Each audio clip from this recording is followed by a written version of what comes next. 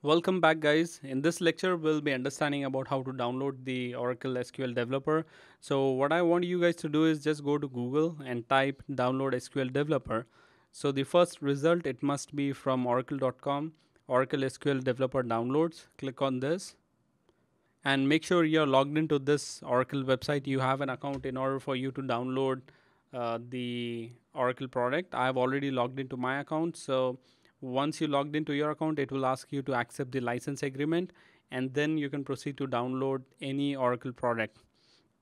Now the latest version of SQL Developer that is available is 18.2 and make sure you are downloading the first one that is Windows 64-bit with JDK 9 included.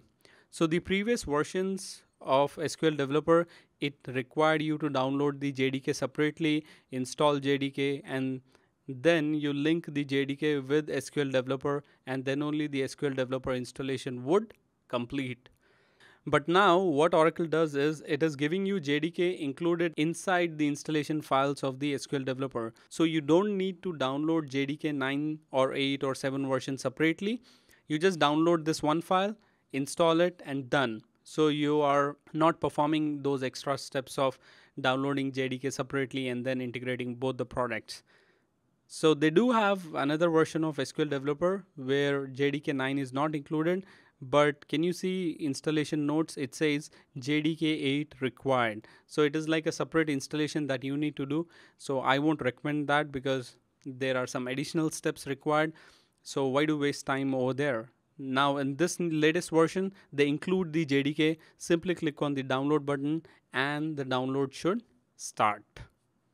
Okay, I think it's asking me to log in. So once you log in and then you can see the download has already started. So once the download is completed, this is how you will get a zip file. This is the SQL Developer 18 to zip file. So what you need to do is just right click and extract to a folder like this. And I think it will take some time. Done. So I just quickly pause the video in order to save the time. So I think it took like one and a half minute to uninstall. This is how the uninstallation folder will look like. Just double click. You will have an SQL developer folder. Double click again. And then you see this application, SQL developer application.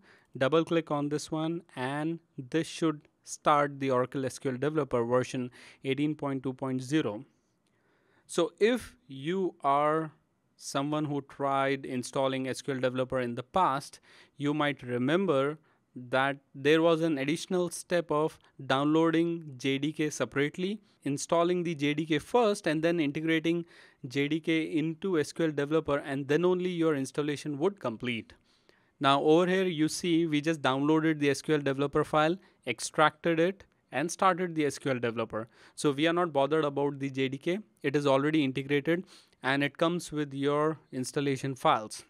So this is the Oracle SQL Developer interface now in this lesson, we have downloaded the SQL Developer for Windows machine. We extracted it and installed the SQL Developer perfectly in the machine. In the upcoming lectures, I'll be talking about how to connect the SQL Developer to your Oracle database, whether it is hosted on RDS or whether it is hosted on your own Linux server or whether it is hosted on any server in the world.